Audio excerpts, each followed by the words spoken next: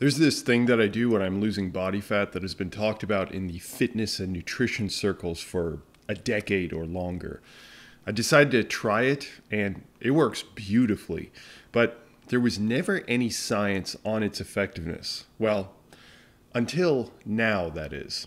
So let me crack open this analysis for you and merge my personal experience with the science to get you set up with quite literally the easiest way to lose body fat, and how to use this information in your fat loss journey. As odd as it sounds, I'm talking about eating more to lose more body fat. No, this isn't some crazy scheme where I sell you a diet pill or tell you that eating gillyweed will boost your metabolism by 5,000%, although it will let you breathe underwater. But that's a tale for a different time.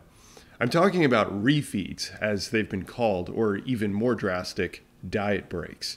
They sound exactly as they are. Taking a break from your diet can lead to greater long term results.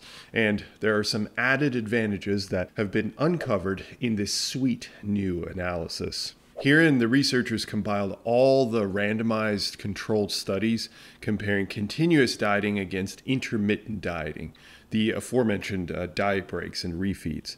I'll get into the specifics of those in just a little bit. They were able to pull together 12 studies that had these two conditions and then group the data together in a meta analysis.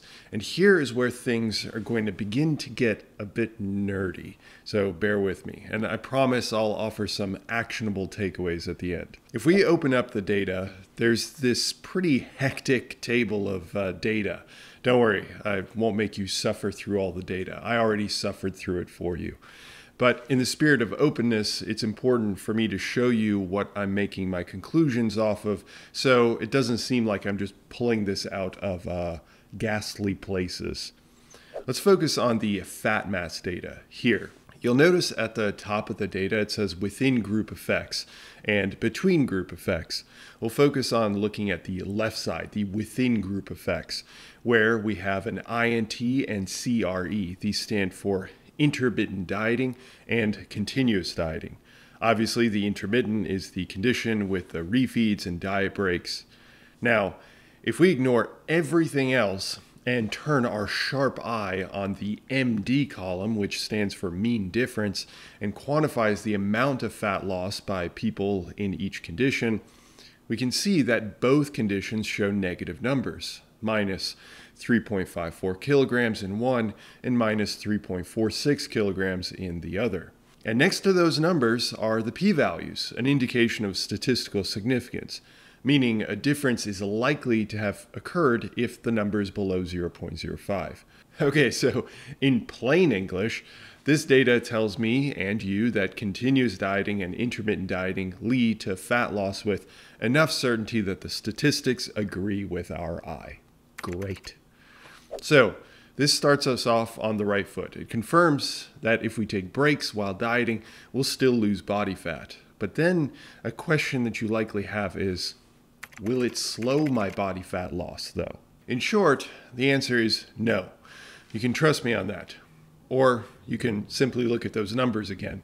And then I can tell you that the between group effects, which is the statistical comparison between the groups, see the connection, showed no difference between groups.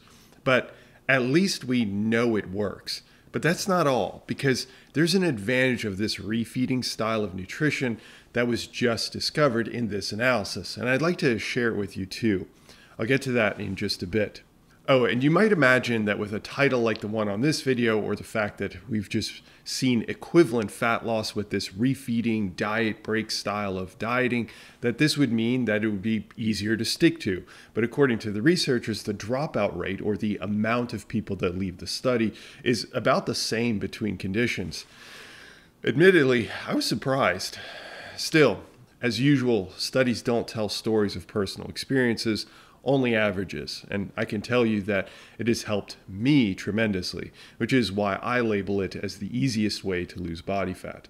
However, even if we were to wipe that benefit away, there is a fascinating phenomenon that was discovered, as I alluded to just a minute ago. The phenomenon is related to your metabolism. The largest chunk of your metabolism is called the resting metabolic rate, RMR.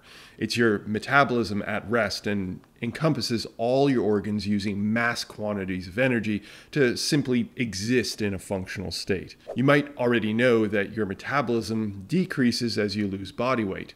One of the reasons is, well, simply physics. Because you weigh less, it takes less energy to move a lighter object, and that object is you across the same distance. But that isn't part of your RMR. On the other hand, our body can undergo a process called metabolic adaptation, which is what the researchers point out here. They point out that this study, which goes into more specifics as to why our RMR reduces in previously inexplicable ways, it was initially believed that the reduction could be explained by the simple loss of tissue from muscle to fat tissue and so on. And while that is a major contributing factor, it actually does not account for the entire reduction. So, what's causing it? The researchers argue that our organs become less metabolically active, which means that the enzymatic reactions, the subcellular movements, uh, and repair processes, and so on, are less abundant, less active, thereby requiring less energy, thereby driving down our metabolism. I'll be sure to do a greater deep dive into all these mechanisms in the future, but we have to return to our initial analysis to clue you in on what happens to your metabolism using continuous dieting or intermittent dieting. Okay, back to that analysis and returning to the data. Here we have a forest plot. And yes, again, we see a bunch of numbers, but you can unscrunch your eyebrows as you try to decipher what they all mean. Uh, they don't actually matter to you. These aren't the numbers you're looking for. Well, before I make myself cringe too much more, uh, they actually do matter, but we don't have time to get into the specifics. So let me draw your eye to the lines, the green squares, and the black diamonds, because this has turned into Sesame Street. I kid, uh, they represent the numbers that we're ignoring, but in a more visually soothing way. If we look at the black diamonds in both of these figures, they represent the overall effect taking all the numbers to the left into consideration. The middle line indicates no effect on metabolism from dieting, but as you can see, the black diamond moves to the right of the middle line, indicating a slowdown of resting metabolic rate. The top figure is with continuous dieting, and the bottom one is of intermittent dieting. Now, they both show the same effect, so why am I showing you all this? Well, I wouldn't be getting you all excited and your hopes up if I were just going to WWE your hopes immediately afterwards. It doesn't bode well for subscribership, and people tend to leave me nasty comments. But also, there is something here.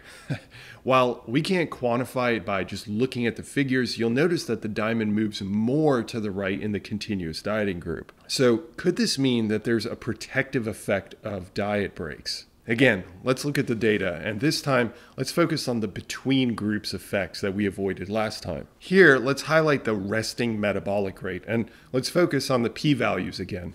Remember, that's the statistical test, and if it's below 0.05, it's deemed statistically significant. And we see that it very much is. So, what does this mean? It means that taking diet breaks still leads to some metabolic slowdown. However, the slowdown is less severe than if you don't take diet breaks. So think about that. You achieve the same amount of fat loss, but you get to preserve a bit more of your metabolism. And you get to take breaks from your diet and eat more. Is this a fairy tale? Am I dreaming? well, not quite.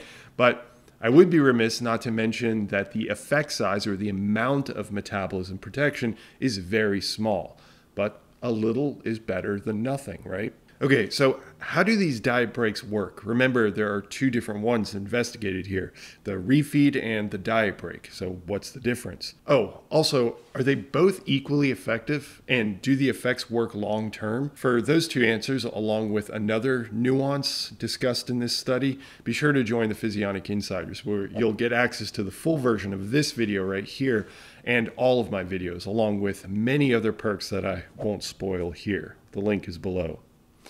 All right, back to the differences and implementation of the diet breaks and refeeds. Refeeds are a smaller version of the diet breaks. The researchers define it as an increase in food consumption up to one's maintenance calories, or even very slightly above, for up to three days. So you could take, for example, a one day break as the shortest. An example of a refeed arrangement could be something like uh, to go 12 days in diet and then take two days as a refeed and do this every cycle. Now, a diet break is a more extreme version where you dedicate yourself to, at the very least, four days back to maintenance or slightly above food consumption. More typically, it's something like a week or two in a diet break so, for example, you would do something like four weeks dieting strictly and then taking one week diet break. The combinations are numerous, so you can just play around with what works for you. And actually, one last thing that I should have mentioned earlier because it could shift how you see this information. So, in scientific honesty, this was all a lie. No, not that.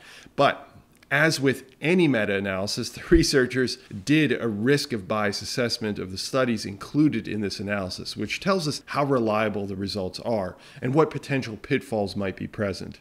Unfortunately, after doing the assessment, they deemed that most of the studies were high risk of bias for varying reasons. So while I don't think that this invalidates the analysis or anything, it does offer some cause for pause, and I hope that future analyses include more rigorous studies. It may also change your perspective on if you buy the results here or not. So I wanted to mention it. All in all, I mentioned that this is the kind of stuff that I use on myself when I go through my fat loss phases to make them much easier. And if you're interested in hearing a bit about my journey using science to lose body fat, just check out this video right here.